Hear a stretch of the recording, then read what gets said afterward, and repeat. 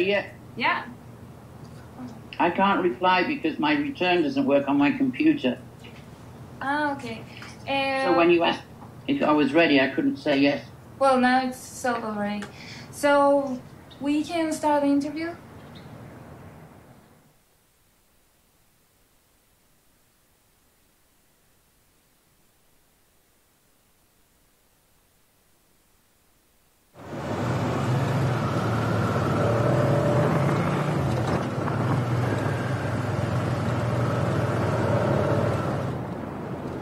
Momento en que me di cuenta que la música tenía un sentido práctico, no era casual que fuera tan repetitiva, necesitaba la, un poco la repetición para, pues para ser consciente. ¿no?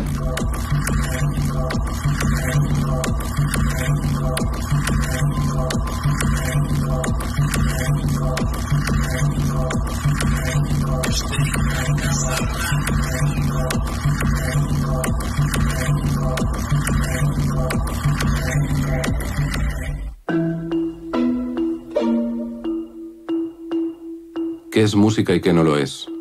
El arte de organizar con sensibilidad y lógica una combinación de sonidos y silencios. La emotividad que permite darles coherencia. ¿Qué es y qué no es todo eso? ¿Qué significa un sonido grabado? ¿Qué consecuencias tiene eso? Y qué significa artísticamente y filosóficamente, porque lo filosófico acaba, acaba teniendo sus consecuencias muy importantes en lo que haces en un disco.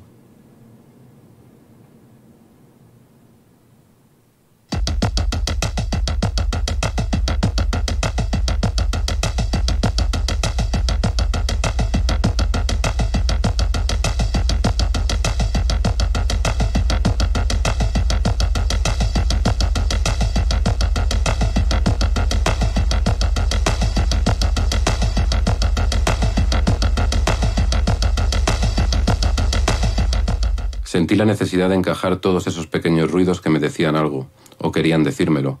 No sabía bien si lo hacían desde su torpeza o desde la mía. Esa cámara Super 8 que te envié es una herramienta.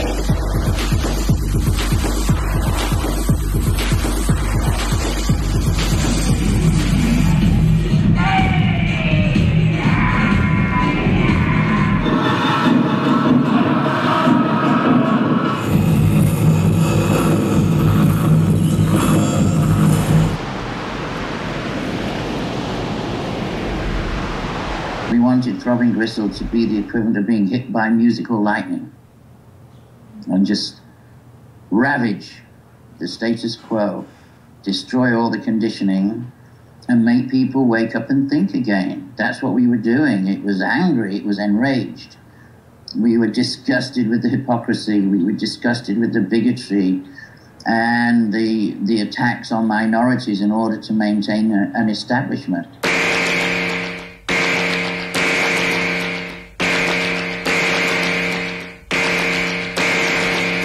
One day you you know if you're an artist you sit here and you think there's nothing in this record shop i want to listen to. It's then my duty to make something that we would want to listen to because we're not unique. Somebody else must feel like this. So there must be lots of people who think why is there no music for me?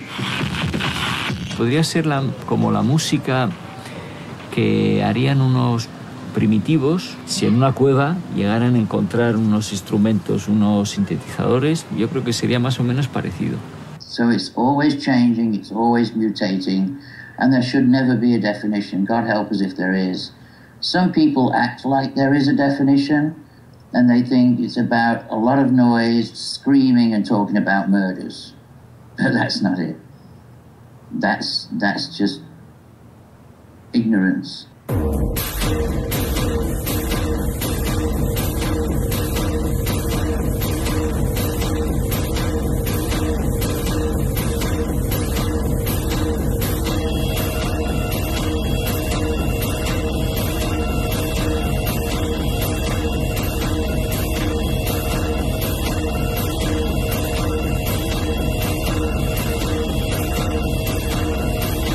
what it is is stepping back and saying, what do I see in this world right now?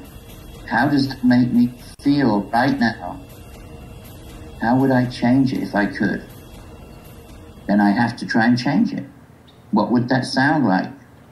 And that's what industrial really means is that analysis of what's necessary to speak with people as directly as you can and to speak about things that they empathize with and recognize. That's the nearest you could get to industrial.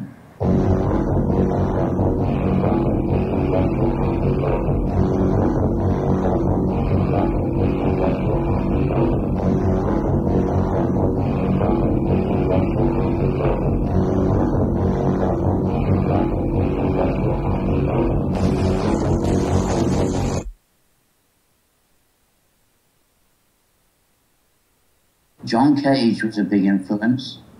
Uh, we got hold of a book called Silence by John Cage, and it it really changed my idea of what music was and could be because it was inclusive of everything. He basically said, as I'm sure you know, any sound can be recorded is part of music. And as you play, the sounds of the audience are part of that music.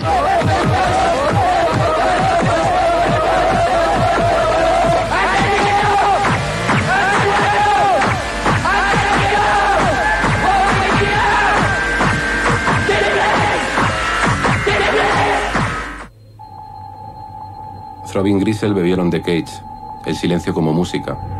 Lo hicieron igualmente de Barrows, la palabra como virus. Iniciaron un camino en que todo parecía descomponerse para abrir nuevos senderos. Entonces, la tecnología recompuso su ideario de una forma más contundente y mucho más accesible. Las reglas eran nuevas y, era decir, bueno, pues estamos buscando una nueva estética y, mm, y esta estética se utiliza las máquinas por, por muchas razones, porque definen el, eh, el perfil de nuestro tiempo, porque son más baratas, más accesibles, eh, más manejables.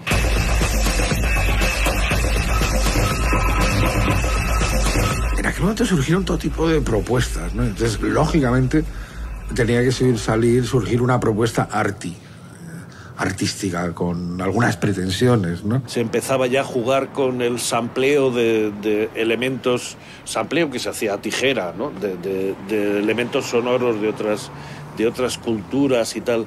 Era realmente fascinante, ¿no?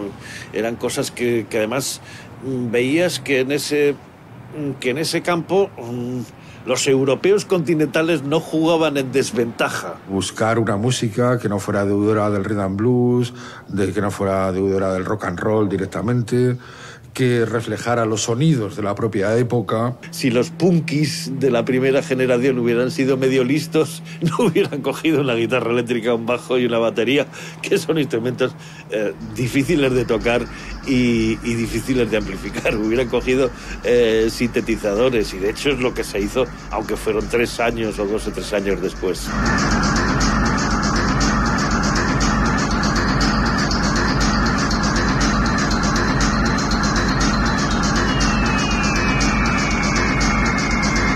Tampoco era un movimiento nacional de un sitio. O sea, alguien súper influyente era Monte Cazaza. O sea, eh, que ya ves. Era el post-punk, lo que comenzaba a llamarse la música industrial porque utilizaban esa electrónica primigenia, ¿no? Y luego pues también eh, tenían elementos totalmente eh, corrosivos. That's another thing we did that's really overlooked but really important. You know, we encouraged everybody we could find to realize that you can all do something, you can all record something, you can all say something if you've got something to say. So we liberated the concept of music and said everyone can get involved. Era evidente que lo que había surgido vino para quedarse. Liberó aquello que, aun pareciendo ya libre, quizás no lo fuese tanto.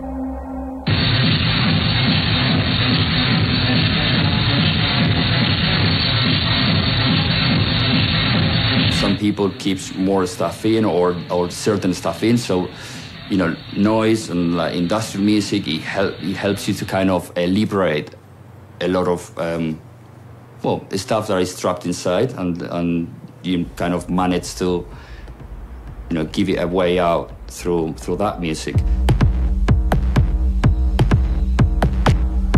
How fucked up you gotta be, or a society's gotta be, to to build stuff um, like this, like you know, as noisy as that, and enjoy it. You know, it's like in a way, it's like porn. You know, if porn and the, the, the really edgy side of porn, more like S&M.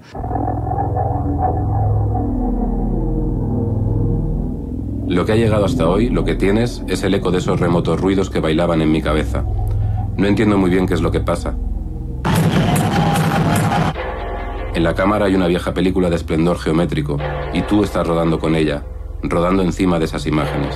No importa tanto, se puede hacer.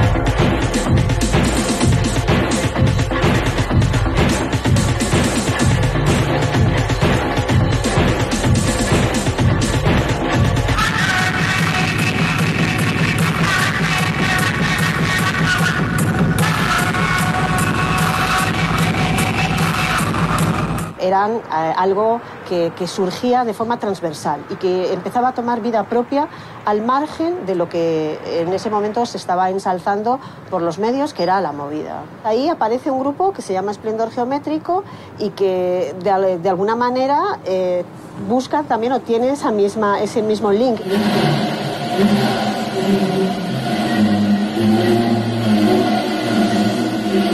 todo lo, lo, futurista que tiene de esplendor. El nombre del, del, del grupo es, es, eso que está cogido de un poema de, de Marinetti que se llamaba Lo splendore geometrico e meccanico ¿m? e la sensibilidad dei numeri ¿m? Y la sensibilidad de los números. El esplendor geométrico traía eso, ese otro componente de Throbbing Gristle que a su vez venía del mundo de, del arte performativo más radical, los com transmissions que eran herederos, por así decirlo, de los accionistas vieneses.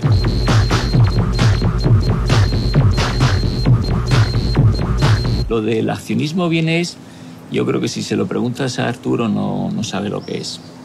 Y, pero yo creo que él, sin saberlo, es un accionista vienés. Provocan. ¿Y cómo provocan? Provocan con su estética, provocan con lo que dicen, con su mensaje. Mezclan la pornografía con la estética de los campos nazis, sin ningún pudor. En mí hay una cosa de esplendor que me encanta. Y es que si te fijas a lo mejor en los grupos industriales originales de Gran Bretaña, en Throbbing, en SPK, White House, eh, Cabaret Voltaire, etc., ves que detrás de ellos hay una postura muy cercana al arte conceptual. Es decir, Throbbing Gristle empiezan como, perform como un grupo de performers antes de, de, antes de dedicarse a la música o a la no música, porque a lo mejor si dices que hacían música ellos se enfadan. Eh, White House también, por, pese a lo animales que son y lo, lo, lo, garrulo que William Bennett, tienen detrás un corpus intelectual bastante importante de referencias, a lo mejor a todo ese submundo de literatura extrema o de asesinos en serie que tanto les gusta. Eh, Coil, por supuesto, bueno, Coil es uno de los grupos con más calado intelectual de la historia del rock, creo. Pero sin embargo, en Esplendor, y pese a que tienen estas referencias al futurismo de Marinetti en el nombre, hay una cosa extremadamente española, celtibérica, si quieres, en el sentido de Luis Carandel, que es el jugar el, al a ver quién lo dice más gorda. La idea de coger una cinta porno de gasolinera y, utilizarla como sample en un tema creo que tiene más que ver con, con, esa cualidad o esa costumbre que tenemos a veces los españoles de soltar, bur, de soltar burradas en la barra de un bar antes que con un discurso intelectual complejísimo y elaboradísimo acerca de cómo eh, epatar al burgués o de cómo poner a prueba la, la tolerancia de, del oyente.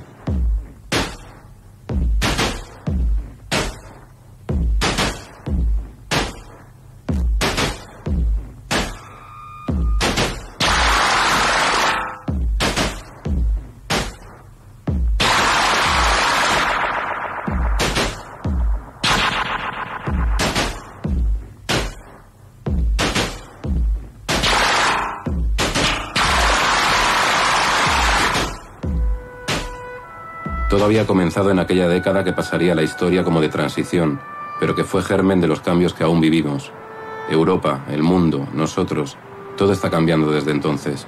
España se libera de la dictadura y las calles, especialmente las de las grandes ciudades, se llenan de una vitalidad arrolladora. A principios de los 80, en, España en general, en este nuevo contexto político, social y cultural, había una energía y una, mmm, unas ganas de construir sobre un desierto, llenando este agujero negro que habían dejado los 40 años de dictadura y para mí era un momento y un lugar donde no tenía ninguna, ninguna duda que quería estar.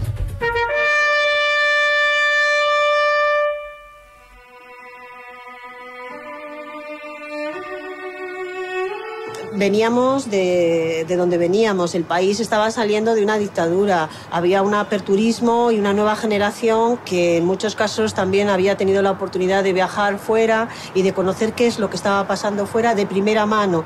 La ciudad era fea, las gentes que vivíamos allí nos vestíamos de forma fea, todo es gris, todo es horrible. Yo no creo que aquella época sea mejor que la época actual, ni, ni que sea la época dorada, ni nada pero sí ocurría eso en particular, ese fenómeno que se dio en aquella época. Y la gente que tenía curiosidad eh, por otras cosas, pues tenía, esa, eh, algunos encontramos esos, esas redes que, que, existían en aquella época y esos lugares. Lo que había es un germen de, de rebelión protagonizado por chavalitos que tenían 18, 19, 20 años. El futuro centro del circo habían entrado unos nuevos protagonistas muy liberados y muy, uh, muy dispuestos a comerse el mundo y de hecho se lo comieron. Y es en Madrid, una de estas ciudades de inagotable energía, donde coinciden, en un Ateneo del barrio de la Prosperidad, adolescentes inquietos como Servando Carballar y Arturo Land. Teníamos un grupo de acción cultural, entre comillas, en el cual hacíamos pues básicamente fanzines literarios, nos encantaba pues, básicamente la literatura, la música, el arte en general. Y Arturo y yo pues pasábamos horas y horas hablando pues de las primeras vanguardias, escuchando música, escuchábamos pues básicamente al principio rock eh, sinfónico. Empezamos con uh, poesías eh, un poco así y dadaístas y tal, y mm, de repente descubrimos a los Sex Pistols.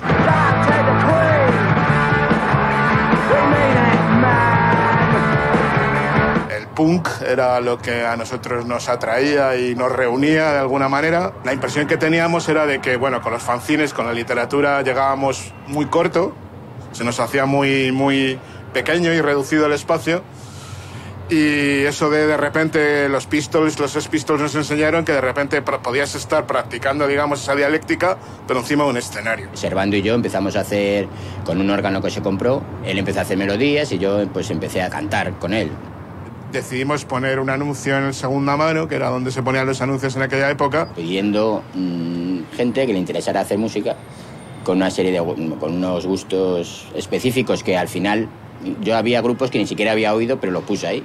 ¿no? O sea, bueno, pues porque para ver qué pasaba. ¿no? Nos respondieron pues eh, la otra parte, Gabriel Riaza, Juan Carlos Sastre y Andrés Noarbe, que venían, digamos, también del, de, de ser amigos de, de, desde siempre. Juan Carlos y Gabriel ya habían estado más o menos contactando con gente que luego en la movida tuvo algunos grupos, como los Bólidos, y bueno, querían meterse en algún tipo de formación. Teníamos un rechazo lógicamente generacional por lo que dominaba un poco en los barrios donde nosotros vivíamos, que era el heavy y el rock así de barrio, muy, muy colega y muy así, ¿no? Nosotros eso no. Ellos llamaron y contactaron con lo que entonces era justo el, eh, el inicio del aviador drop. Fuimos allí a casa de, de Servando, que estaba en Prosperidad, y ahí pues hicimos una performance Servando y yo, y bueno, y parece que le gustó. Llego y veo que tienen allí encima de una mesa un sintetizador que no era tal, pero no sé, no recuerdo la marca, pero era un sintetizador.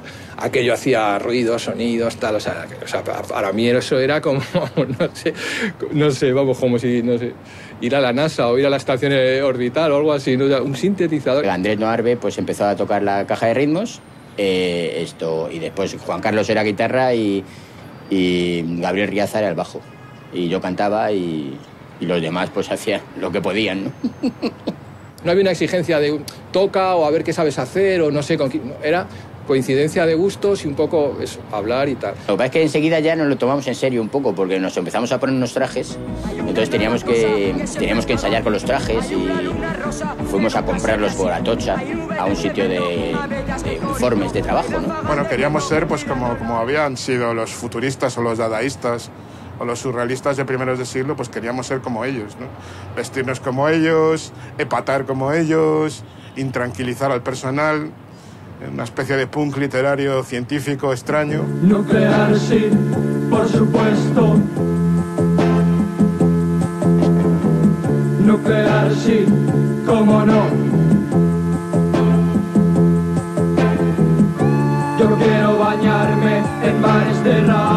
El grupo se rompe en plena grabación y eh, se rompe de, mala- de malas maneras. ¿Qué ocurrió? Que rápidamente los gustos se fueron distanciando. Eh, yo éramos más radicales en el sentido musical. Estamos hablando de Joy Division, los primeros discos de Factory Records, Throbbing Crystal, Cabaret Voltaire. Me cuesta trabajo recordar porque pasaron tantísimas cosas en un periodo de tiempo, probablemente no sería su- superior a un año, un año y medio, pero, pero claro, con, esos, con esas edades pues te daba, te daba para mucho ese espacio de tiempo. ¿no? Él le gustaba más eh, hacer melodías, ¿no? Y a mí, y a, mí sobre todo, me empezó a gustar una cosa más rítmica, ¿no? Y como con más ruido. Vamos, me parecía a mí que era más...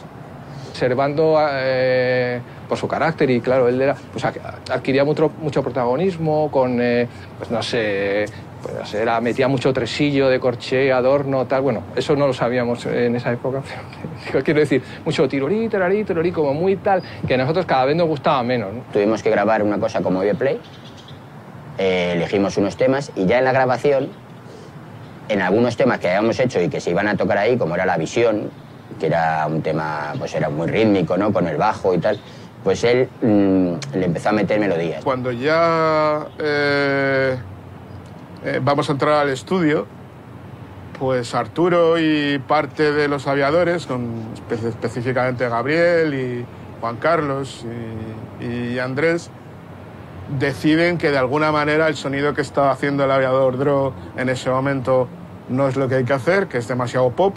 Yo le dije, oye, no metas melodía y tal. Bueno, ahí hubo una especie de tensión, ¿no? Y, y entonces a partir de ahí, pues bueno, son, la verdad es que es un juego un poco de egos porque eh, que ahora te lo recuerdas con cariño y tal, porque bueno, son- seguimos siendo amigos y es un tío encantador y tal. Y la verdad es que ha sido muy importante en mi vida, Servando Carballar. esta comunicación que debería haber existido entre Arturo y yo acerca de ese giro que él le quería dar o que le querían dar, pues no tiene lugar. Al segundo día de, de grabación, pues yo noté que la situación era muy tensa.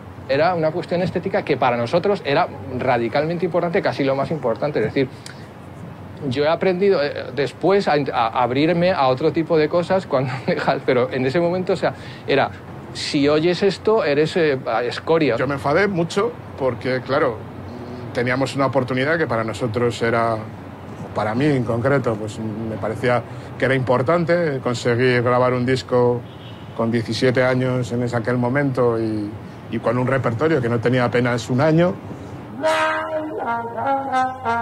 Eh, La ruptura fue violenta, o sea, te estoy hablando de violenta de hostias, o sea, de hostias.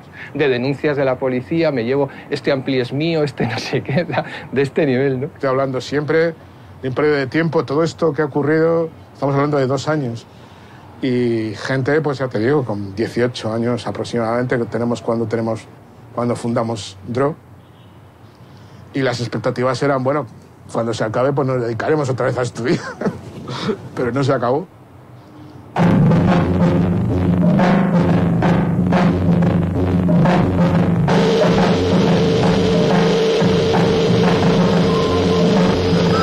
Lanz, Riaza, Sastre y Noarbe más o menos en la sombra abandonan Aviador Dro para afianzar sus propios criterios.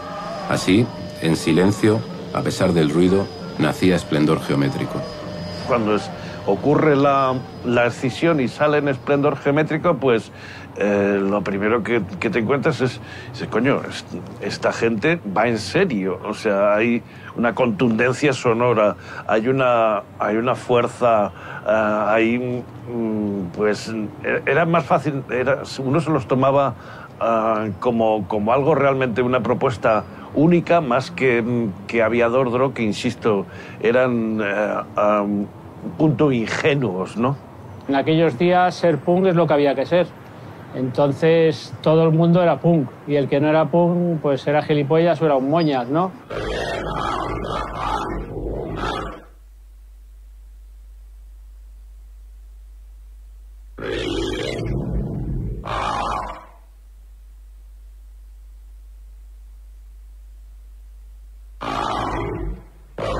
Manrique fue el contacto para que Moscú Instalado saliera en el recopilatorio internacional alemán Fixed Planet.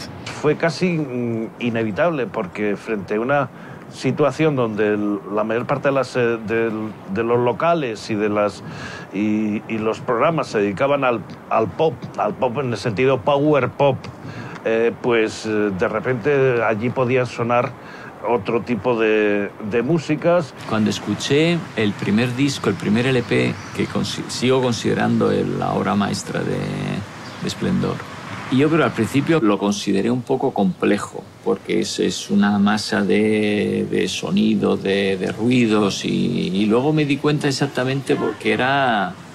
Eh, la fuerza no era por lo complejo que era, sino por lo sencillo que era. No pasaban por el cerebro, sino por el, por el estómago. Yo creo que el, el, enfoque es, es, es un enfoque naif, primitivo,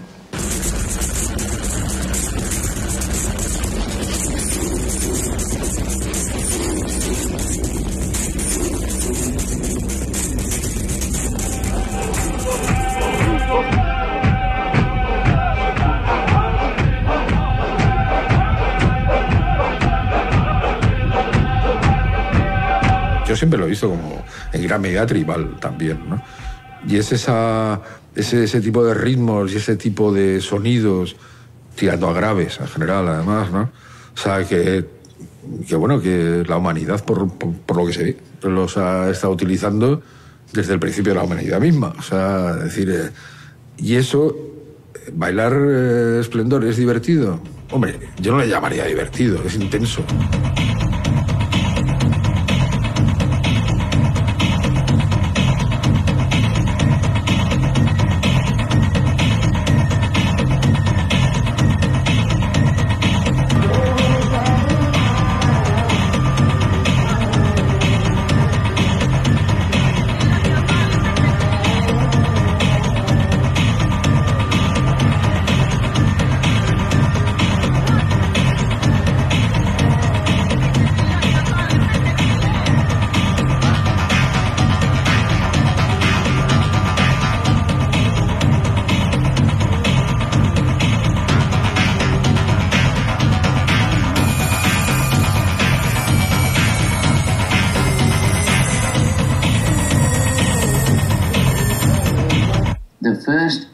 Review of Throbbing Gristle in a newspaper started with a headline that said, Even an ape with severed arms could play better than Genesis.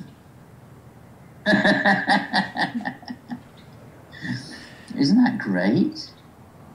And another one said, We've never seen such utter degradation of a beautiful instrument, referring to my violin. So the answer is people were completely dumbfounded, shocked, and horrified. Musicians thought it was terrible. Even punk bands thought it was terrible because it wasn't music. and then people that didn't care about music thought it was terrible because of the content of the lyrics. The whole world freaked out when they heard Throbbing Gristle. It's hard to imagine now.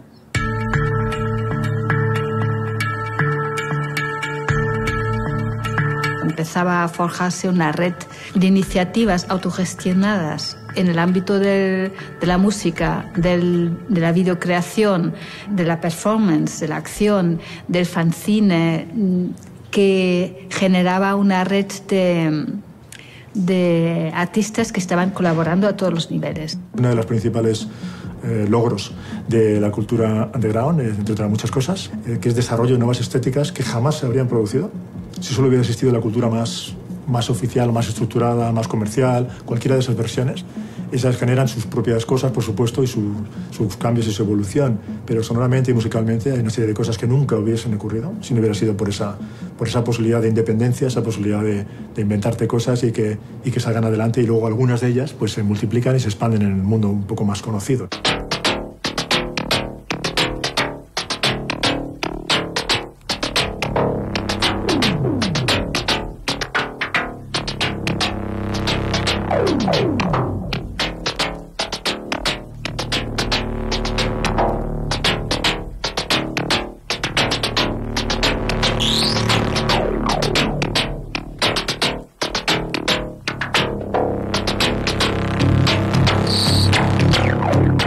El geométrico era una especie de versión fría de la de Ordro, o sea, era como más cold wave, que se llamaba entonces, ¿no? La de Ordro era más pop, más eh, feliz, de alguna manera, la chica plexiglass.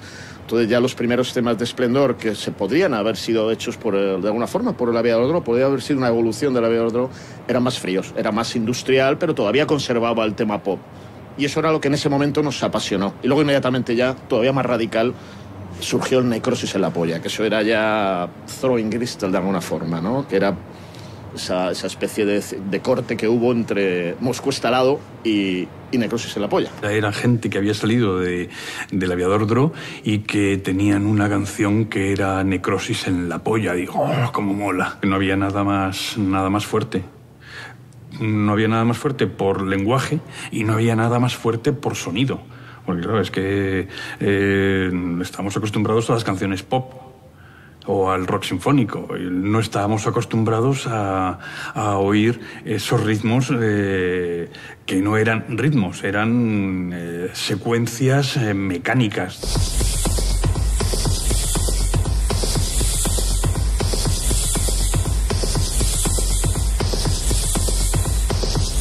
Lo que pasa es que, claro, estaba tratado tan, de una forma tan inteligente que podía resultar musicalmente agradable para el que tuviera el, el oído un poco acostumbrado. Pues es una música ah, que mm, según cómo meta la mano te puedes cortar, ¿no? Entonces, eh, eh, yo sí que tenía esa sensación cuando, cuando pinchaba a Esplendor Geométrico, incluso en esta primera, en esta primera época, y es que cortaban el rollo. Debo estar enfermo, pero me gusta.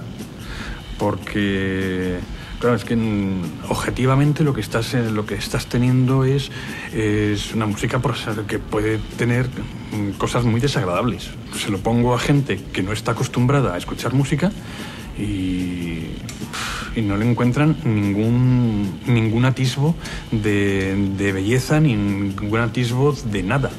Ese disco, que yo ya me encargué de venderlo, Necrosis, el single, pues se distribuyó fuera. Y afuera sí que tuvo... Inmediatamente empezamos a recibir cartas de, de gente de fuera.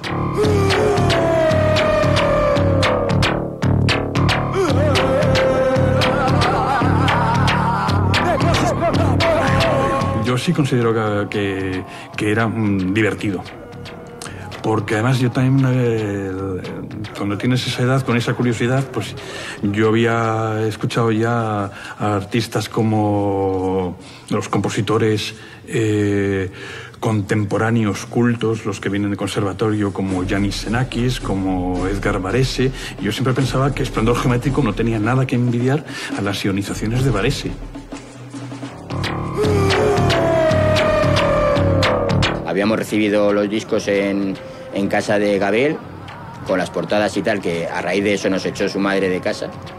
Eh, entonces, y su, pa, y su hermano, no, vamos, decía que quería incendiar los, las portadas de los discos y tal, que era una mesa. Ese, ese, el hermano sí que fue la polla, porque decía, no, esto es una mierda, pero ¿cómo podéis haber hecho esto y tal? ¿no? Y entonces, en esa misma semana, al día siguiente, teníamos el concierto. Y entonces había bastante gente que fue al concierto, mucho, mucha de moderna, mucha moderna. Estaba la gente, bueno, estaba este Bernardo Bonetti, estaba, bueno, pues todos, ¿no? Allí. Y ya solamente ya ver la portada ya, los- ya decía, pero esto qué es y tal, ¿no? Vaya portada. Y ya con el concierto, porque nadie lo había, nadie había escuchado nada de esplendor geométrico, que no hubiera sido pues los temas de Moscú está lado y tal, pero ya en el concierto de Rocola, que era, pues había Amor en Mauthausen, eh, o sea, mm, en directo Necrosis en la todo, o sea, destrozaron sus ovarios. Eh, lo más burro de Esplendor Geométrico fue ese concierto, el primero de, eh, donde la modernidad fue a vernos, ¿no?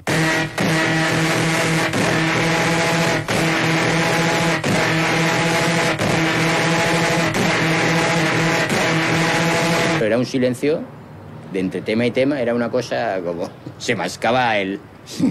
Después había unos colegas de, de Juan Carlos que eran los punk de Madrid, ¿no? Eran pues gente de que íbamos con ellos por ahí. Entonces se confundieron los- las cosas y entonces nos trajeron unos pollos, unos pollos vivos y nos los tiraron así al escenario y tal.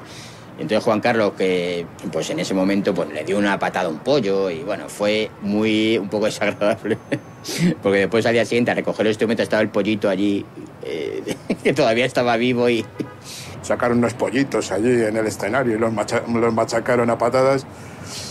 Eso me, me- me causó un rechazo porque lo pens- pensé que, que- que era algo que no hecho sin, sin, sin pensar. La gente le pareció espantoso es- el, el concierto, o sea, le pareció... Además, eh, la gente de sonido nos iba bajando, baja- hasta que no se oía casi nada. La gente no entendía nada, el- la- era una cosa y al final, pues que nadie se atrevía ni siquiera a, a decirnos nada. Juan Carlos dejó el grupo.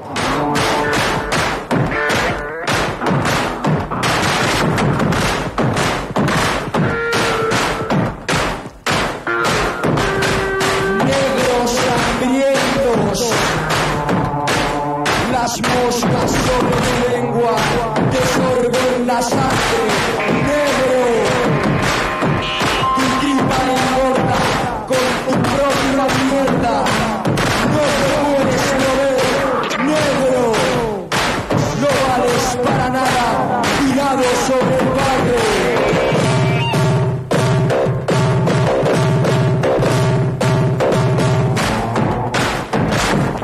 negros hambrientos te piden clemencia.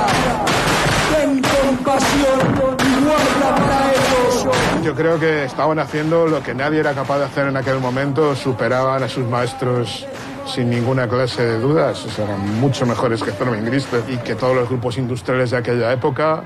El talento, concretamente yo creo, de Arturo y como, como fuerza de la naturaleza y de Gabriel, que era una persona con quizás los pies más en tierra y más organizado y que podría aportar la parte, la parte estructural de esa banda.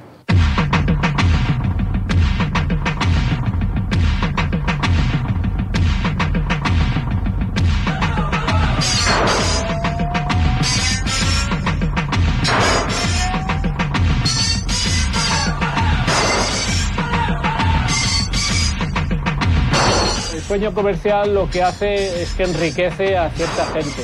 Enriquece, es decir, con cash a mucha gente, ¿no? Pero yo creo que es la etapa mm, más lamentable para muchos grupos de toda su historia. No tuvieron la visita del- de, de Satán ofreciéndole la tentación, eso, sino que simplemente pues funcionaron por su, eh, por su cuenta porque no, porque no, mm, no, se plantearon conquistar el mundo. Servando Carballar sí quiso conquistar el mundo. Y yo creo que el mundo, por lo menos durante un tiempo, le conquistó a él, ¿no? No me importaba tener éxito, no me importaba que llegar a tocar como fue de hecho en un estadio y para decenas de miles de personas y no me interesaba tanto en, enrocarme en una postura más elitista y más en la búsqueda experimental de esos sonidos. En un mundo que se va declarando alternativo, se extiende un frenético periodo de creación y autogestión, en el que se desarrollan formas de colaboración e intercambio creativo como el arte postal.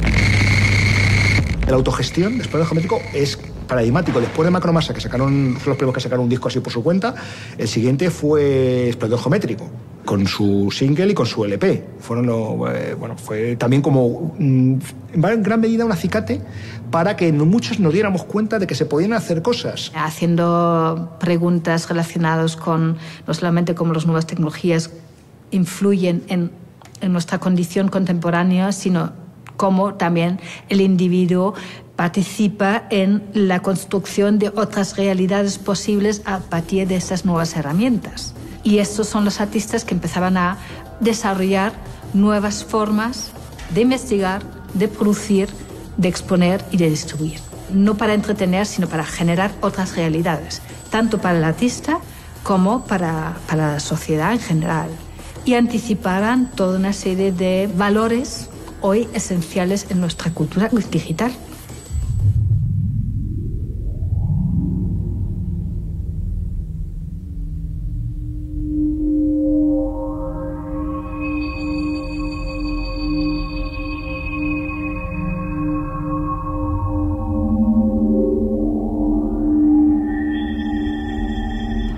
Heroico. Yo ahora lo veo con perspectiva. La caseta entonces no había duplicadoras. Entonces yo me acuerdo que Arturo fue una autopublicación total. O sea, lo grababa en tiempo real desde la bobina a la casete. Entonces se tiraba horas y horas por la noche grabando. Había mucha demanda de fuera de, de casetes tras el single que tuvo mucho éxito. Hablamos del 81. Y se publicó Eje 1. And we took that very seriously. And it's one of the reasons we started using cassette tapes. So that we could record the world outside and bring it to the music.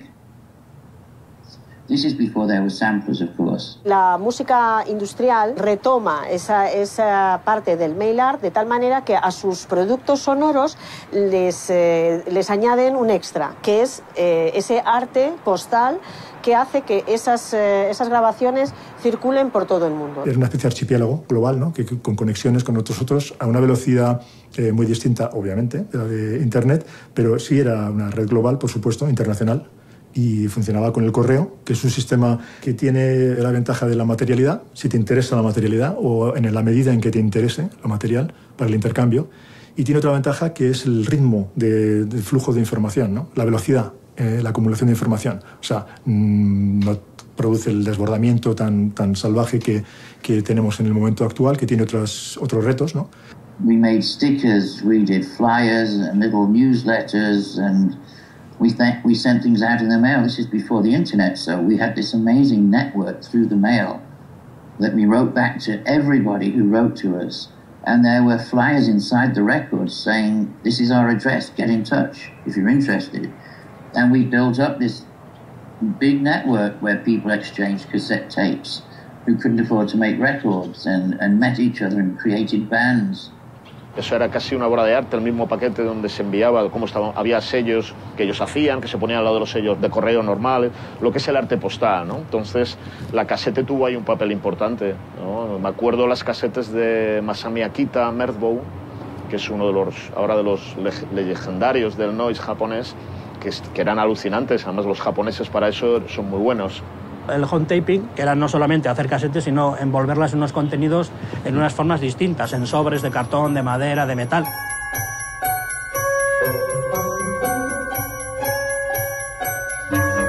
Hacíamos las casetes pues según iban viniendo los, los pedidos. Nos hacían los pedidos, era muy artesanal.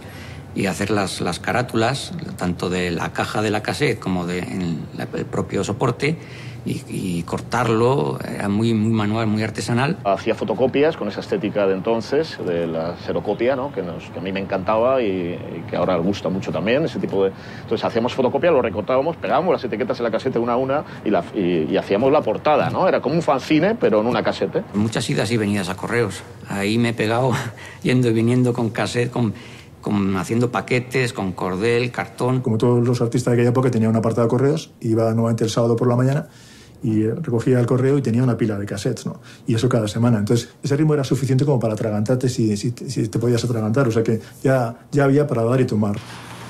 En realidad es mi colección de música, pero es la colección de un coleccionista, porque es el resultado de intercambiar con artistas de todo el mundo durante muchos años. La inmensa mayoría de todas estas cassettes que ves aquí son ediciones que solo se hicieron en cassette en los años 80 y que son ediciones pues muy pequeñas, de 50 copias, de 100 copias. ¿no? La primera caseta de Esplendor también está aquí, por supuesto. Estas son ediciones caseras de muy pocas copias que la gente hacía en su casa, eh, con portadas caseras, etcétera, fotocopias. Está la cultura del mail art. El arte postal podemos retratarlo también a los futuristas. Fueron de los primeros que empezaron a, utilizar esta técnica de intercambio de obras y de generación de... Los surrealistas con el cadáver exquisito, en el fondo, están haciendo esto. La, la tema de la, mm, la cuestionamiento de la autoría, la autoría colectiva, el, eh, el intercambio. Eh, es un poco antes de nuestro tiempo, están poniendo en cuestión aquello que ahora es muy actual, eh, que es la difusión del trabajo y que el propio medio es el mensaje y es el, la, constituye la obra o, o mm, digamos, condiciona mucho la obra. Necrosis en la polla podía considerarse como una pose patante, o tal vez como una fórmula radical en cuyo interior habitaba un abanico de excitantes posibilidades.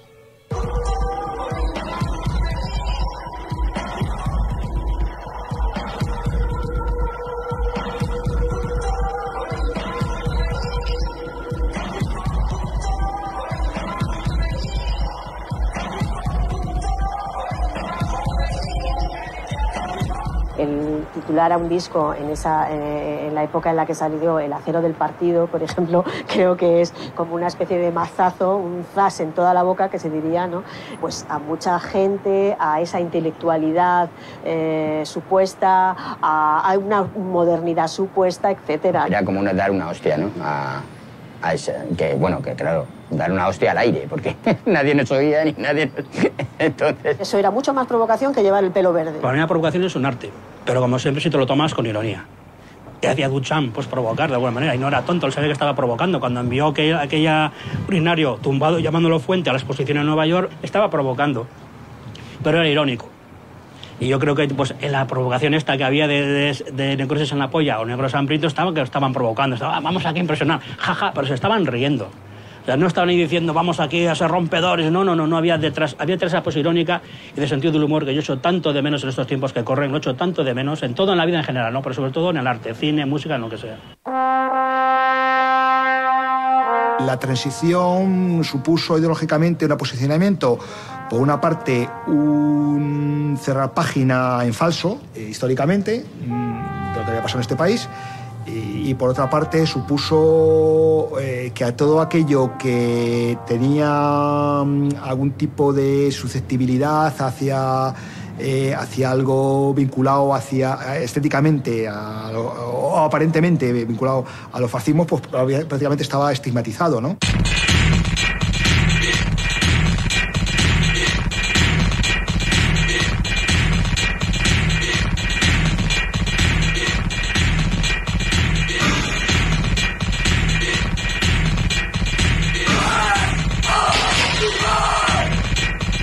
Estaba haciendo cómics en ese momento con estas influencias. Eran cómics normales de gente que leía cómics y dibujaba cómics porque leía cómics, pero yo dibujaba cómics porque escuchaba música industrial, no porque leyera cómics. Simplemente había cosas que me motivaban y me estimulaban la imaginación y otras que no. Y los temas que tocaban ellos sí me la estimulaban porque más eran temas novedosos. La tecnología, la ciencia de vanguardia, los subliminales, la manipulación de masas, en fin, había un montón de cosas y temática apasionantes que estos artistas se, basaban en ellas para contar sus cosas en los discos que hacían.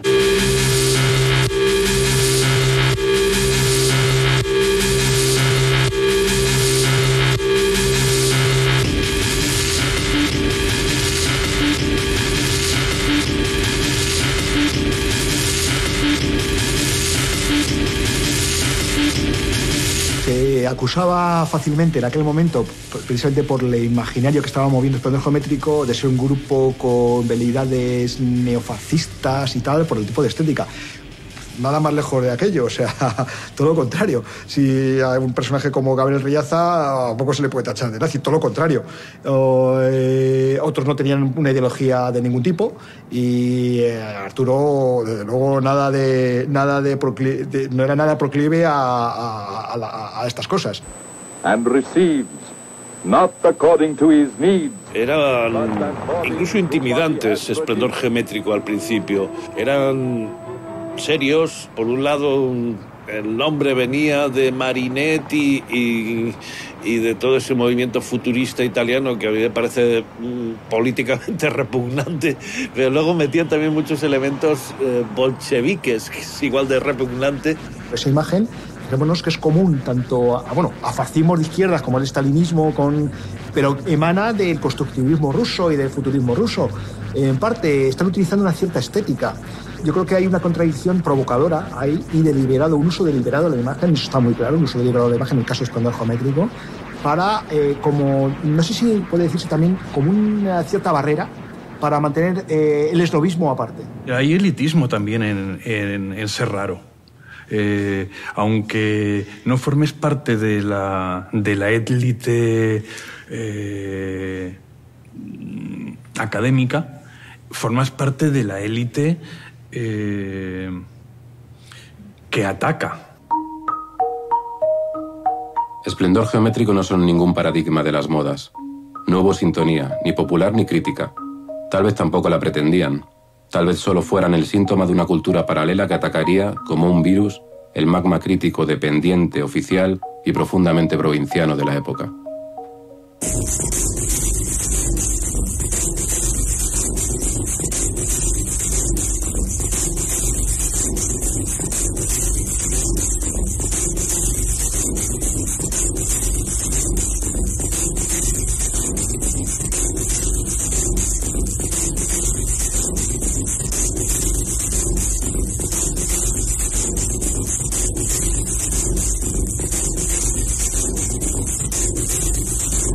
Aparece un pop un poco más complejo, con referencias eh, eh, bastante obvias, ¿no?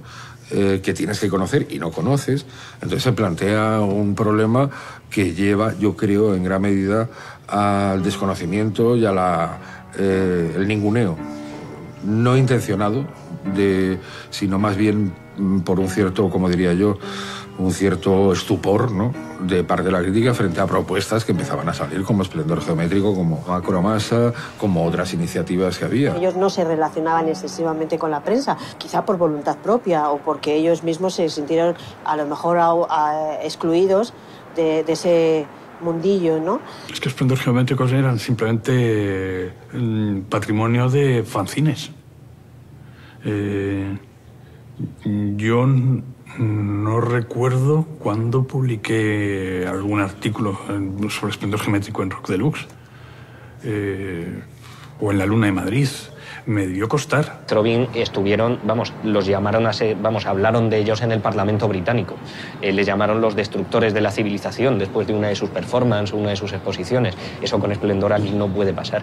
Pasó con las Bulbes, porque salieron en horario de máxima audiencia, bueno, o, de- o en el horario que fuera, en una televisión pública, en una época en la que a la oposición le interesaba machacar al gobierno, eh, acusándole de que España se estaba convirtiendo en un, nido, en un nido de libertinaje. Si uno ve en aquella época en Estados Unidos, en Inglaterra, sí tenía una recepción crítica bastante eh, elaborada, no digamos inteligente, no necesariamente, pero por lo menos más elaborada y que reposaba sobre un fondo eh, también escrito y de experiencia y de, y de documentación bastante amplio. Aquí, pues no lo había. Entonces nos hemos encontrado con esa carencia y yo creo que hemos arrastrado esa carencia, eh, yo diría que hasta casi hoy mismo. Yo tengo la sensación de que España es un país absolutamente paleto. O sea, mm, no cambiamos. O sea, pasan las generaciones y en términos generales no cambiamos. Hay cosas que te echan, ¿no? O sea, directamente y es así, ¿vale? Y, y se valoran así. Pero que, que- que puedes, eh, pueden atraerte y, sin embargo, pues eh, no funcionan de ninguna manera. ¿Por qué?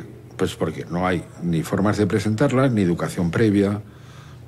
Entonces, así es muy difícil. El arte contemporáneo sigue siendo eh, un arte mm, extraño que nadie comprende, que nadie le gusta, que, que puede pasar, pueden pasar 60 años, pero sigue gustando eh, el, el arte figurativo y el arte bonito o, o los cuadros de colores agradables para decorar. No hay una inmersión en lo otro. Es decir, España sigue siendo un país muy paleto.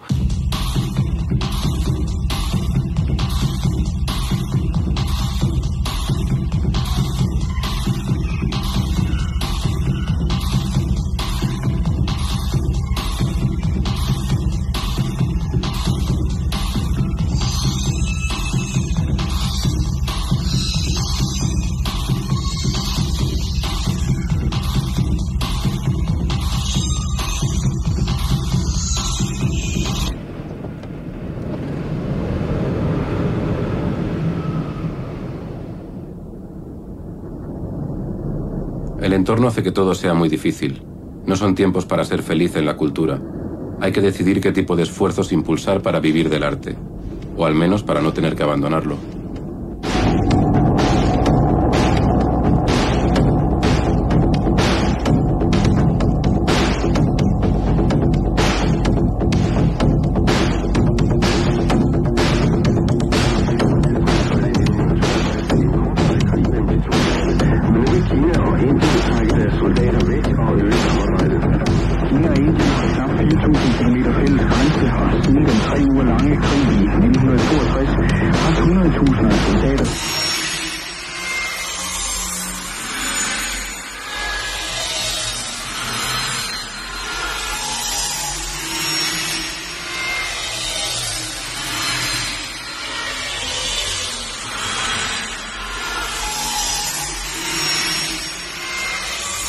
Tenía una intención de vivir de eso, ¿no? o sea, de, de, poder vivir y no tener que hacer ningún trabajo. Pero Arturo, que lo sigue manteniendo y lo sigue haciendo, lo, lo, es un, lo ve como un tema como amateur o no profesional y Gabriel yo creo que también, ellos tenían una idea como de su más clara, voy a hacer una posición, acabo de estudiar, tal. Ya veíamos que eso era lo que había que hacer, trabajar en otra cosa, porque la música no daba de comer. Yo empecé a estudiar historia, geografía e historia. Entonces, eh, bueno, pues estudié y tal, acabé la carrera, yo seguía haciendo música, claro, como siempre. Y me fui a París un año, estuve allí estudiando francés y después me tocó ir a la mili. Entonces en la mili pues eh, hice milicias universitarias porque yo ya había acabado ya la carrera, entonces me reenganché de teniente. Entonces estuve un año de teniente, no, dos años de teniente en la Moncloa, en el cuartel general del Ejército del Aire. Entonces allí toqué incluso delante de los soldados y tal, ahí estuve tocando como esplendor geométrico, que fue alucinante. Carcelero, sí, carcelero musiquero, era yo, era mi caso. Y había, había, había más carceleros musiqueros, sí. Es una profesión curiosa y, y también te encuentras gente pues, muy interesante. Separaba perfectamente y la sigo separando la vida profesional de lo que es eh, la música. Que al final no es separarlo, es integrarlo. No es separar, es integrarlo en tu vida, ¿no? Todo. Y entonces, después del ejército, estuve estudiando económicas, aparte de la historia, de historia, pues estudié económicas para la oposición y aprobé la oposición y entonces me mandaron a Palma de Mallorca durante siete años. Bueno, era un trabajo, pero eh, es una experiencia realmente y, y en aquella época era muy peculiar. La prisión a la que iba era un antiguo fortín, era el fuerte de Victoria Chica, un fuerte militar hecho prisión, con naves, que daba la reja estaban los reclusos, era una nave, una brigada, con la reja al fondo, la reja, un foso, era fuerte con foso, y, la entrada, cuando cerrabas por la noche, eran rejas, rejas, pero bien gordas, con su cancela y cadenas y candados, era muy peculiar, era, era toda una experiencia. A mí el rollo de, de pintor de fin de semana, de ahora voy a hacer esto y luego soy un músico radical y hago tal, pues no me gustó. Unos años después de Sastre, Riaza también abandona el grupo, acudiendo a la llamada de otros ritmos. Pero antes deja en la música de esplendor su impronta arábiga.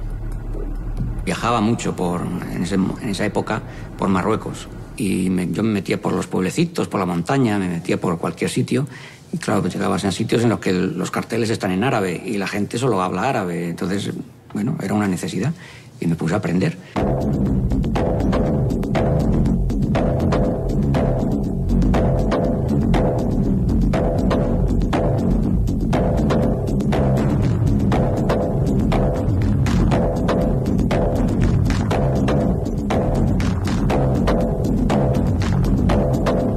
Ritmos, ritmos en bucles, un tanto hipnóticos y que te atrapan. Y sirven, son, son geniales para viajar, para viajar en coche, ir hasta el desierto y es entrar.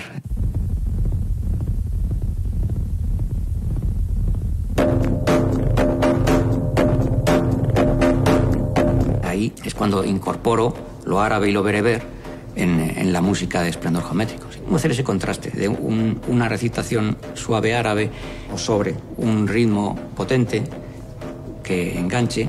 Gabriel era un tío muy retraído, muy, muy, o sea, nunca decía, o sea, el tío hacía, que hacía genial, las, hacía unos temas alucinantes y tal, pero él estaba en su mundo y tal, y, y a lo mejor se ponía mal, al tocar en directo era más negativo, decía, esto va a sonar mal, esto va a ser, no sé si va a estar bien.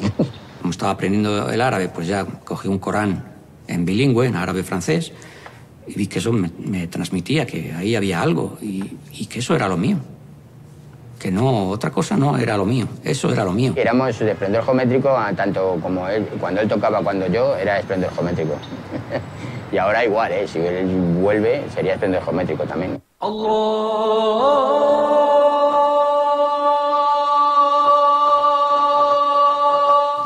Ya nada. Ya lo dejo y ya soy solo oyente pasivo.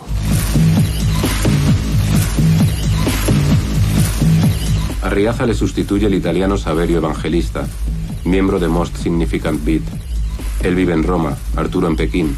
Desde la distancia engendran un método compositivo que convierte la distancia en recurso.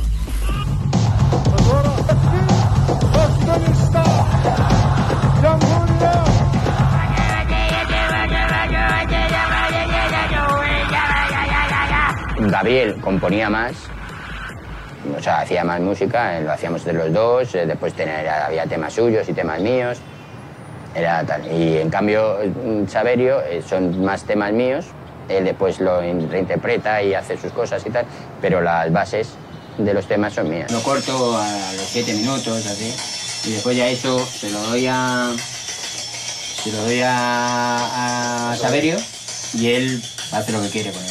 Lo que recibo yo son las, las, digamos, las bases, las pistas por separado y más bien eso, en el 99% de los casos de- son, por un lado van, van los ritmos, por un lado van las voces, por otro lado van más bien una parte como más ruidista y luego yo eso las mezclo, meto más cosas. A veces intento arreglar como Arturo corta los temas, porque los corta muy así de una forma tajante, pero luego me doy cuenta que es la única forma en que se puede cortar un tema. Eh, pues lo intento a veces cortar de otra forma, pero la única forma es como lo corta Arturo, o sea que es tac, lo corta y ya está, y, y funciona. Somos completamente distintos, es suficiente con vernos en el escenario.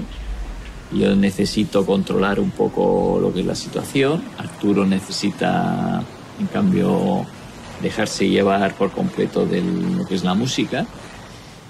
Y yo creo que en este sentido es lo- la clave que se- seguimos así, que somos muy buenos amigos y, somos tan distintos que nos completamos.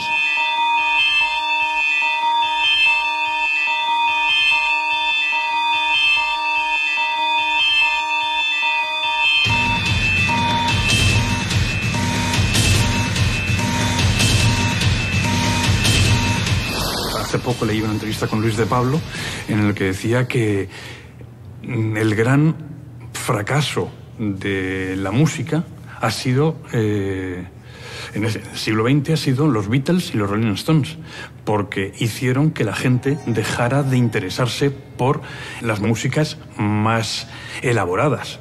Bueno, luego esto ha abierto una serie de, de caminos inexplorados que están muy bien. Hay un, autores que vienen eso del, mundo académico y autores en cambio que vienen de la música experimental que suelen que, que pueden decir cosas parecidas viniendo de eso de formaciones completamente completamente distintas Sí, pero con gente así del arte, pues no, no eh, más que nada porque es que del arte así sonoro, porque es que no, no, no, me, no les entiendo. En, los mismos compositores cultos se pegan. En, Europa surge la corriente serialista, con los popes Pierre Boulez, Stockhausen, Luigi Nono, y, ellos están enfrentados con las corrientes que surgen en Estados Unidos un poco posteriores, que son las del, minimalismo de Lamont Young, de Terry Riley, Tom Johnson, que fue el primer, el creador de la primera ópera minimalista con cuatro notas. Ya no por hablar de los, grandes nombres conocidos, Philip Glass y Steve Reich. Pero claro, te encuentras con que los, los serialistas consideran que lo que hacen esos minimalistas americanos que tienen la misma formación que ellos, es decir, que no son unos ganapanes que se han puesto ahí a, tocar instrumentos de forma intuitiva, sino que no, tienen también su formación académica completa, reglada, exactamente igual, que han aprendido también eh, hacer música dodecafónica o música serial, pero que no les gusta. Y deciden hacer eh, música de otro tipo y que esa música también es complicada de, de hacer. La vida personal y musical de Arturo Lanz transcurre en paralelo a la de Francisco López, amigo desde la adolescencia y uno de los principales exponentes mundiales de la música experimental y electroacústica.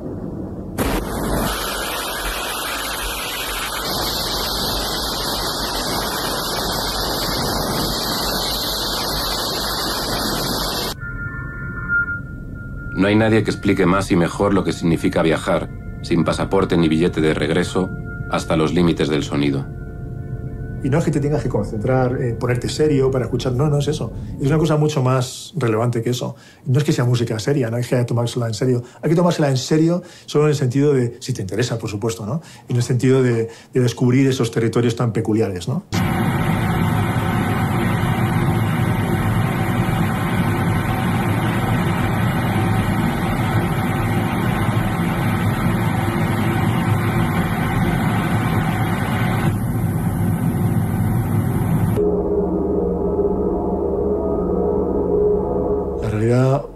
Enseña muchas cosas sobre texturas, sobre dinámicas, sobre cualidades del sonido, em, que son enormemente interesantes para, para la, creación en sí. ¿no? Yo comencé haciendo grabaciones y sin ningún objetivo así muy claro, eh, porque mm, me interesaba el sonido, me interesa el sonido como espacio, el sonido como experiencia, el sonido como percepción del mundo. Eh, y la primera cosa que me llamó la atención de las grabaciones es precisamente lo contrario de lo que se suele hacer con ellas, que es mm, lo que ocurre la grabación, se no es igual, no suena igual la grabación que el ambiente natural que recuerdas o el lugar que recuerdas. Y eso que se suele interpretar nuevamente como una deficiencia de la grabación no es lo mismo porque en la grabación se genera una cosa que no existe en la realidad. Se genera un mundo distinto y se genera una materia que si la miras desde el punto de vista de lo que es en sí, pues tiene su entidad propia.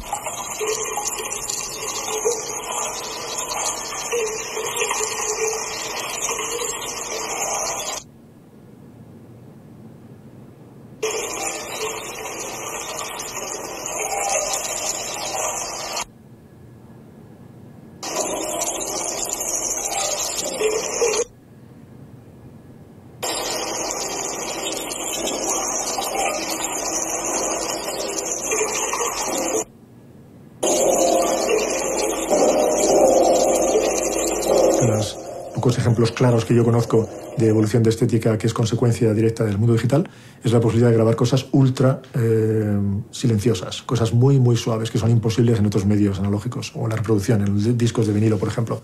Es imposible. Eh, y también por dinámica, no solo por, el, por la fritura famosa de los vinilos, sino por la dinámica. La dinámica digital es mucho más amplia que la dinámica, la dinámica analógica.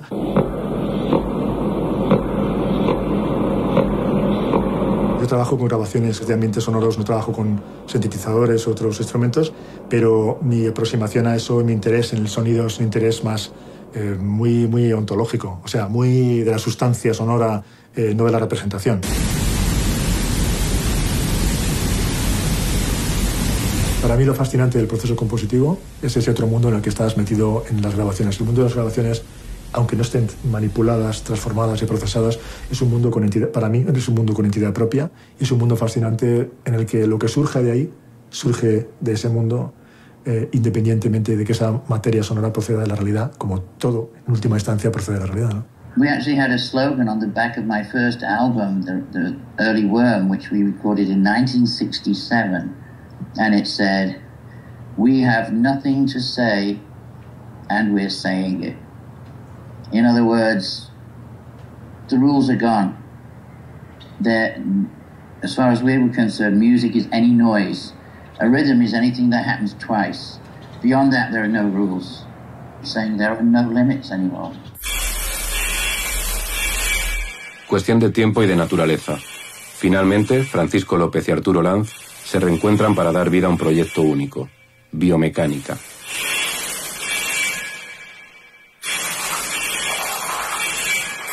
En Prosperidad había un denominado Ateneo, Ateneo Libertario de Prosperidad, que era un edificio emblemático donde se dieron conciertos muy históricos en aquella época y donde un poco había ese punto de, de, contacto entre, entre jovenzuelos que comenzaban a hacer sus grupos, en un barrio más o menos popular, digamos, ¿no? que, donde la orientación política no estaba nada clara realmente. Nosotros somos de familia ambos, tanto Arturo como yo, somos de familia bien bastante modesta, ¿no? Eh, y, y, no había una, orientación política clara, pero lo que sí había eran unas ganas de, de conocer otras cosas que en ese sentido somos afortunados. Esa confluencia entre lo biológico y lo mecánico, digamos, ¿no? lo maquinal y lo, y lo biológico, que tiene tantas, tantas analogías tantos puntos de confluencia, pues era como una... La, la, de hecho, el nombre yo creo que salió de forma inmediata ¿no? en esa confluencia. Entonces tiene ese aspecto del ritmo, para el cual Arturo tiene una gran intuición. Todos los materiales rítmicos del álbum que hicimos de biomecánica eh, están transformados respecto al original que me pasó inicialmente. Pero da igual, la genética de ese material rítmico es tan buena que sale siempre algo estupendo. Y todos pues se han caracterizado por la, por la presencia en escena de Arturo, que es eh, eh, imposible de, de, imitar o de igualar, ¿no? Y yo hago lo que puedo con el resto.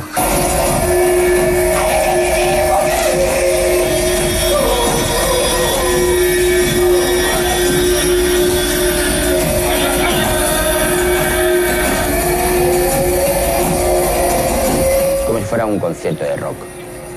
O sea, no pienso en nada cuando hago eso. Entonces, no, no, no, no quiero dar ninguna imagen. Entonces te sale, o sea, es una cosa muy primitiva porque te sale lo que quieres hacer. No tienes nada. O sea, a lo mejor hay momentos en los que no hago, que de repente no te sale hacer nada y no lo haces. O sea, es, depende mucho del momento y no depende de qué imagen quieres dar, ni qué, ni qué show quieres dar, ni nada de eso. Yo creo que a él, de alguna manera, pues eh, le gustó aquel universo paralelo donde la gente vive eh, de lo que hace encima de un escenario, de sus recursos artísticos y eso pues yo creo que lo ha llevado él eh, interiormente, interiorizado durante muchos años. ¿no? Con este look y con los cascos, pues me meto en el asunto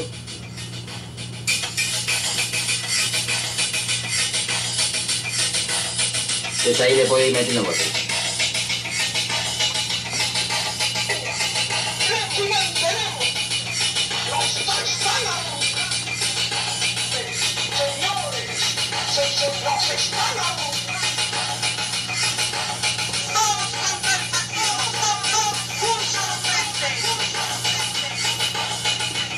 Y ahí puede estar, pues a lo mejor puede estar pues, con este ritmo que ya está como 40 minutos, ¿no? Arturo tiene una visión de que el mundo es un caos y su música evidentemente refleja ese caos, ¿no? Yo también coincido con él totalmente en que vivimos en el caos y que hay que crear una música adecuada al caos en que vivimos.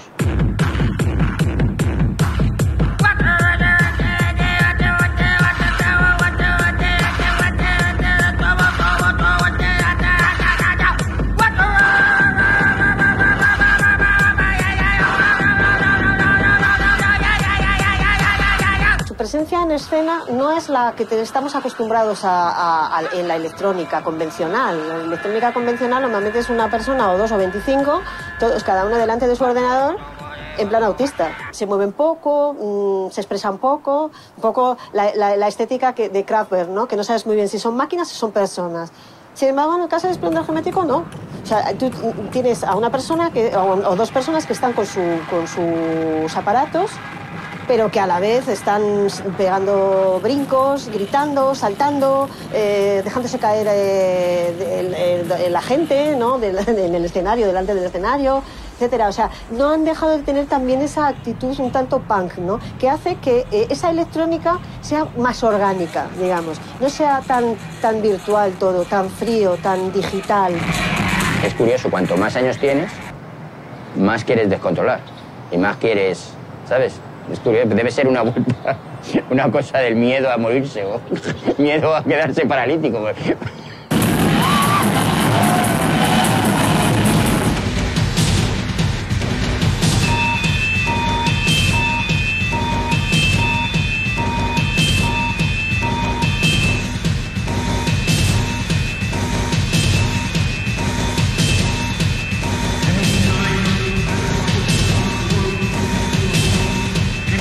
Parte del ethos, digamos, de la, de la ética eh, más profunda de la cultura pop, es que mm, lo digas más claro o menos claro, lo manifiestes más o menos eh, explícitamente, está como esa cosa de que un artista pop, en realidad su objetivo, aunque sea a nivel freudiano, es ser famoso, ¿no? O, o incluso un microfamoso en tu entorno, sea cual sea ese entorno. Esa parte no existe nunca en la, en la cultura industrial, igual que no existe para muchos otros artistas, muy diversos, ¿no? Independencia. No hay otra alternativa. Independencia. Libertad para mirar tus propias manos y las gafas de los demás. Independencia, libertad, criterio, gusto. La voluntad de, aguante, de la coherencia ideológica que, que tenía en Esplendor Geométrico desde el principio y la idea de que no iban a hacer de la música su, eh, su modus vivendi, sino que era un proyecto artístico mm, que sería reconocido o no, pues eso es lo que les, eh, supongo que es lo que les ha permitido sobrevivir. Nosotros no nos ganamos la vida haciendo música. Cada uno de nosotros tenemos nuestro trabajo y eso nos permite hacer lo que queremos, ir a los conciertos que, a los que nos invitan, no tener que, que eso, pedirle a nadie que nos, que nos hagan tocar en un festival. I, th- I think everyone that is on this, we, we know what we're talking about. We've got other jobs as well to pay for our independence in a way. So for to pay for our freedom, to pay to, to for us to do what we want.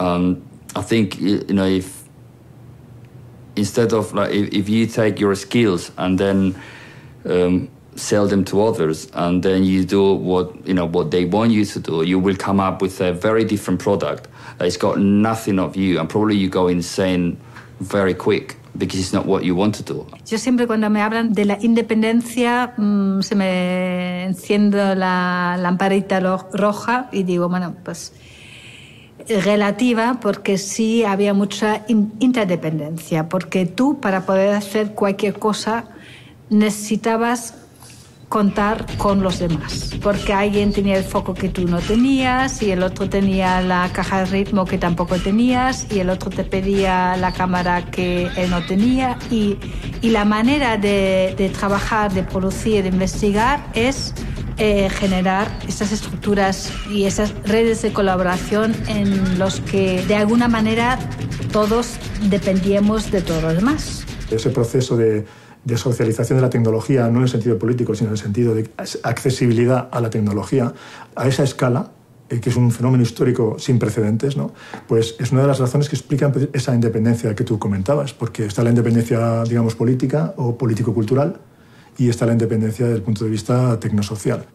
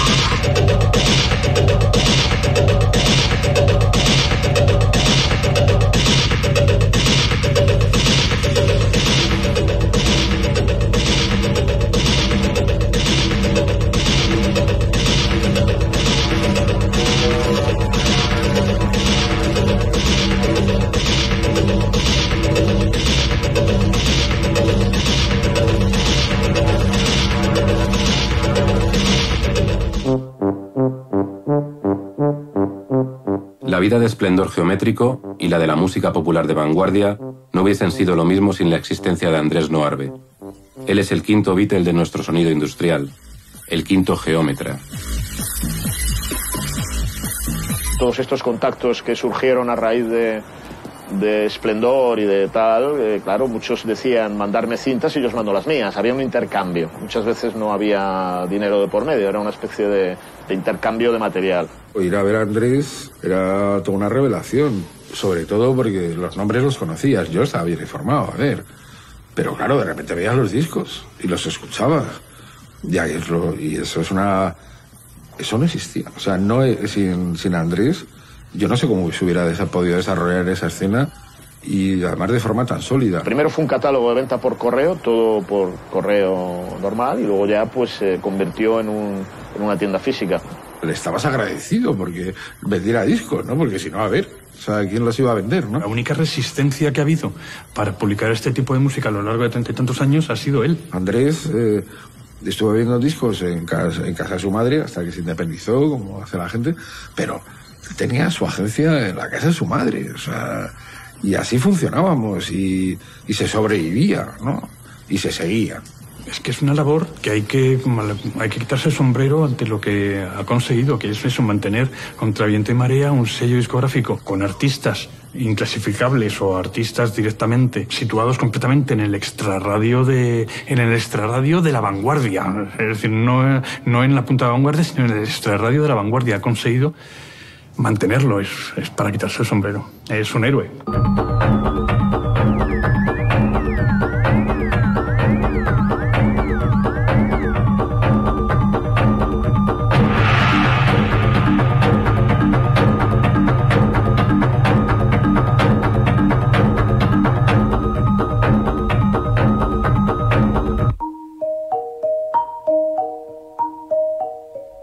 Mundo giró. Más bien dio vueltas de campana como en un accidente automovilístico. Todo cambió en un instante. Desde esta cámara Super 8 hasta todo lo que hoy puedes ver, escuchar, tocar, oler y casi saborear. Porque todo tiene sabor. Y contra el tiempo y esa trascendencia que buscábamos, estaba y está lo simple, el error, lo perecedero. It's a very effective plan to destroy everybody's rebellion. That's what the internet really is. It's the new opium of the masses, and it's working better than opium. Una persona, un chaval que ahora le interese, de repente empieza a conocer cosas y se emociona, empieza a crear y tal, sus posibilidades de desarrollar algo desde el punto de vista de la tecnología, ¿no? de la accesibilidad de la tecnología, no de cómo de rápida o qué tipo de tecnología, sino el coste que tiene esa tecnología es mínimo, ¿no? Eh, eso por un lado. Pero por otro lado, tiene una historia reciente estética de, de revolución estética, de cambios, de mezclas, de combinaciones y de aceptación de, parámetros estéticos que es, que es eh, un lujo, vamos, un lujo. La música es como ya mm, casi no es música, es una especie de sonido con, con errores y con glitches y con miles de cosas. Todo se procede de una acumulación de estéticas y de una aceptación de esas estéticas.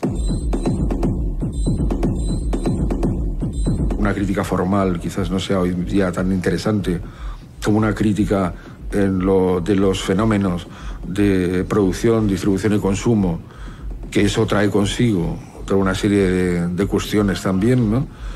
Eh, y creo que esa, esa entender eh, eh, cuál es el momento histórico el que vivimos en, en, la estética, en concreto de la música, de, de la estética distribuida universalmente, creo que todavía no hemos comprendido de verdad qué significa eso. ¿no? Cuando el cambio cuantitativo es tan grande, se transforma en un cambio cualitativo. Cuando se expandió el, el, la, las, el uso de la, de la, imprenta, la publicación de libros en, en, um, por la invención de la imprenta, una de las críticas que se produjo entre los, vamos a decir, intelectuales de la época, entre comillas, los que podían leer, era que a la velocidad a la que se podían publicar libros era tal que había más libros editados de los que uno podía leer y eso había que solucionarlo de alguna manera, que era un problema. O sea, ese fue el primer problema de avalancha de formación históricamente hablando. De, era que no podemos manejar todo. No, una persona no puede leer todos los libros citados. Y es, ahora hay una, digamos, la respuesta, el grito de, a la avalancha de información se parece a eso, a una escala diferente. ¿no? ¿Cómo operamos en este momento de hiperinformación, de contracción, o sea, del pasado y ante ninguna perspectiva de futuro, por otra parte, y todo parece un eterno presente?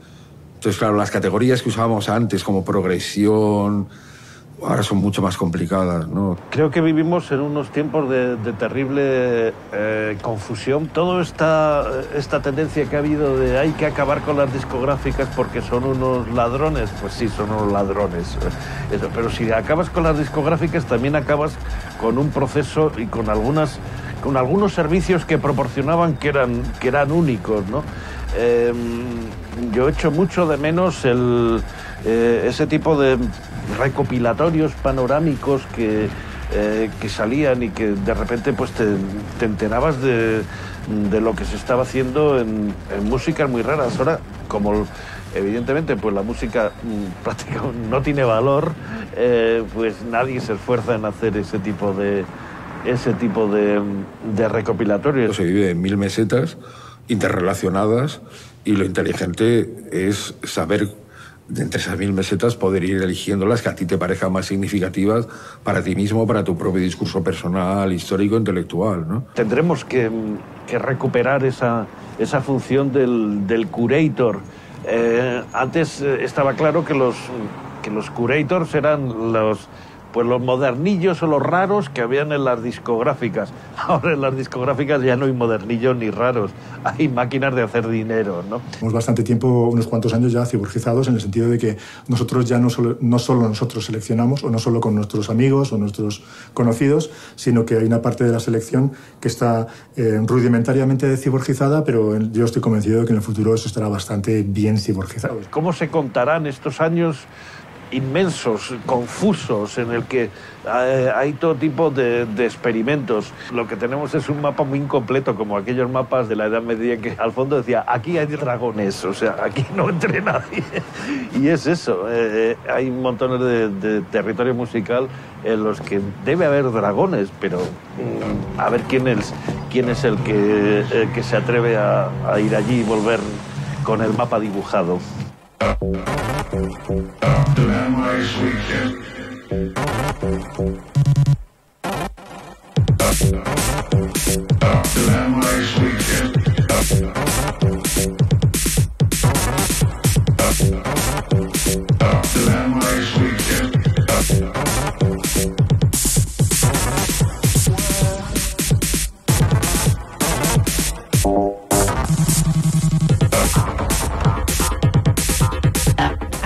Final queda de este tipo de trabajos es una intensidad vital eh, que quieres o no se impregna en, en, la obra sonora, se impregna en las imágenes, se impregna en las acciones.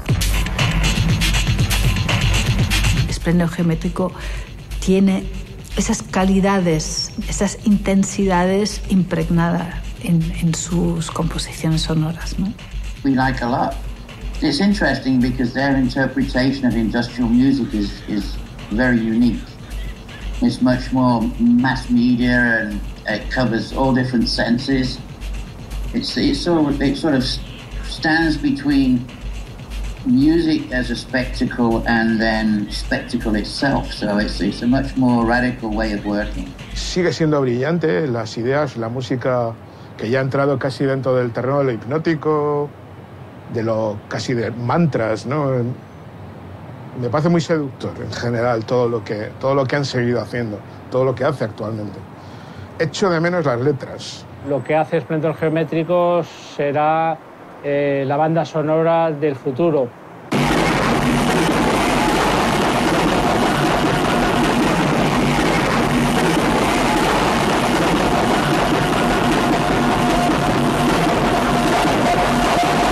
Realmente no está haciendo música, está expresando a Arturo Lat con sonidos. Y supongo que hasta el último aliento, y eso es algo que, que, que tenemos en común. O sea, yo no, si, si, si vienen a un concierto 10 personas como si vienen 20.000, probablemente lo haría, incluso sin nadie en el, en, en el público, porque es una necesidad. ¿no? Yo no voy a dejarlo nunca, porque es que lo, es una no sé, es una necesidad. no es, vamos, como no vivo de ello ni nada de nada, pues me da igual, o sea, podría dejarlo cuando quisiera, o, pero es que no lo que no quiero, o sea, yo creo que hasta que me muera, pues eh, seguiré haciendo cosas, es que es una cosa tan normal. Cuando te decidas a rodar todo esto, el resto solo será realidad virtual, una forma de realidad aumentada y todo lo nuevo que ruedes parecerá borrar la película anterior, crear un nuevo film. Pero nunca sabrás cuál estaba antes. Lo que me apetece es irme. Irme y ya llevo aquí cuatro años y ya para mí es bastante tiempo. ¿no? Entonces lo que quiero es irme a Shanghai. Me parece que va a estar muy bien. El rollo alternativo allí es mucho más extremo que aquí. ¿eh? Entonces eh, mucho más ruido. Y bueno, voy a ver si qué pasa. ¿no? O sea, realmente aparte de mi trabajo, que es lo que me interesa y tal, pues como aquí, decir que, intentaré seguir con la música allí, ¿no?